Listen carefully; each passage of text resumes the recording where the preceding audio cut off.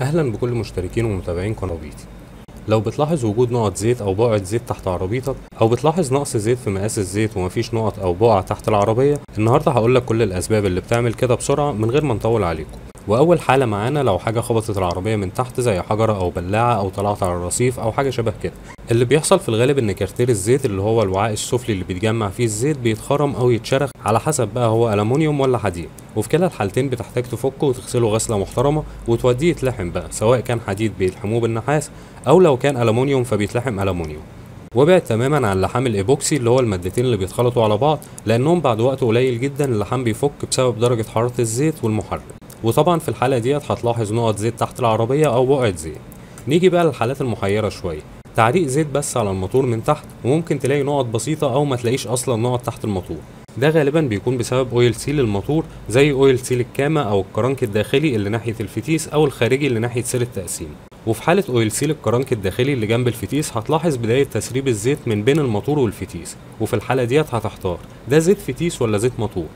لو الفتيس أوتوماتيك في الغالب هتلاقي الزيت لونه أحمر أو وردي يبقى زيت فتيس. وده ممكن يكون بيتسرب من ناحية الكوبلين الداخلي. أما لو الفتيس عادي هتحتاج بقى أسهل حاجة إن أنت تغسل المنطقة بتاعة التسريب أو بمعنى أصح هتغسل الموتور كله من تحت علشان تشوف بوضوح بداية الزيت جاي منين.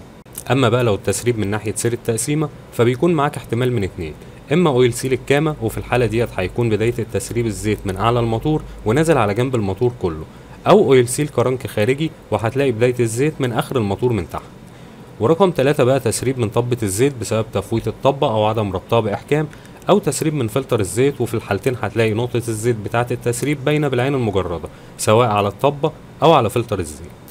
أما رقم أربعة بقى أو ممكن نقول إنه استكمال لرقم اتنين إنك تلاحظ نقط زيت والعربية سخنة أو العربية دايرة فقط. ومجرد ما تبرد مفيش أي تسريب. وفي الحالة ديت أقول لك إن التسريب غالبا من oil seal الكامة اللي في النص اللي فوق من المحرك عند سير التقسيم. والسبب في امتناع تسريب الزيت بمجرد ما العربية تبرد إن بيكون مضخة الزيت بطلت تضخ زيت في النص العلوي من المحرك وبالتالي مفيش ضغط زيت في المحرك من فوق علشان يعمل تسريب.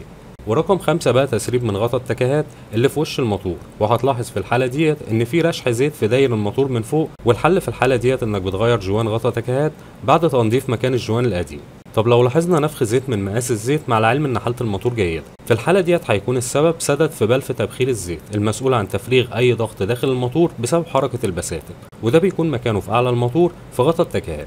نيجي بقى لمرحلة الدمار الشامل. لو الزيت بينقص وتأكدنا من كل اللي فات ومفيش أي تسريبات. في الحالة ديت بقى نقدر نقول عيب داخلي جوه الموتور زي كاوتش الصوابات بيهرب زيت داخل غرف الحريق يعني من الأعلى للأسفل. أو للأسف شنابر الزيت بدأت تسرب زيت لغرف الحريق يعني من أسفل لأعلى. وفي الحالتين للأسف بتحتاج توضيب للموتور أو نقدر نقول كده نص عمرة زي ما بنسميها في السوق. وعلشان تعرف العيب من كاوتش الصوابات ولا الشنابر لاحظ وانت بتدور العربية الصبح.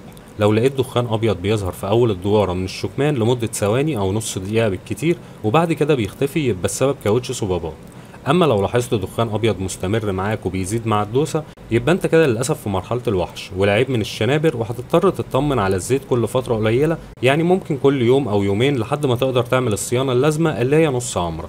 وربنا يبعد عننا كلنا مشاكل نقص الزيت وتسريب الزيت لأنها للأسف هي وحرارة الموتور أكتر مشكلتين بيجننوا أي مالك عربية.